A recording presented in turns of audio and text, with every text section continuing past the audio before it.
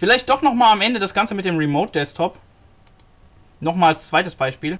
Wir kappen also entsprechend auch hier wieder die Verbindung. Wir lassen ihn aber diesmal hier auf 3389 horchen. Das heißt, da wo der, wo auch sein Remote äh, Desktop Server lauscht, geben wir das Passwort ein und starten jetzt unseren Remote Desktop Client, der lokal ist. Ich nutze dafür Remina, testweise jetzt. Die anderen Programme, die ich gefunden habe, haben irgendwie nicht das äh, versprochene Ergebnis hervorgerufen. Man sieht, ich habe schon mal hier ein paar Dinge. Wir gucken uns mal die Einstellungen kurz an. Wenn man sich die anguckt, dann sieht man hier unter SSH direkt die Einstellung SSH-Tunnel mit, kann man hier direkt einen Port eingeben. Das habe ich auch probiert, aber habe irgendwie nie eine Verbindung hingekriegt. Also wenn ihr dasselbe Problem habt oder wenn ihr, wenn ihr auch einen Tunnel machen wollt, dann vergesst einfach diese Einstellungen, die interessieren euch auch gar nicht. Weil äh, aus Sicht dieses Clients verbindet ihr euch ja direkt mit dem Server, also ohne irgendwas dazwischen wenn wir jetzt auf einem anderen Port als dem 3389 lauschen wollten, also sagen wir, wir hätten, ähm, wir können das mal machen.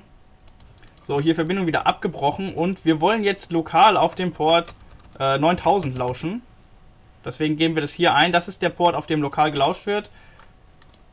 Wieder der ganze Kram. So, und dann haben wir hier unseren Localhost und dann geben wir den Port einfach hier direkt so an und nicht hier irgendwie mit dem Tunnel. Das machen wir wieder weg hier, sonst geht es nicht. Und dann funktioniert das auch.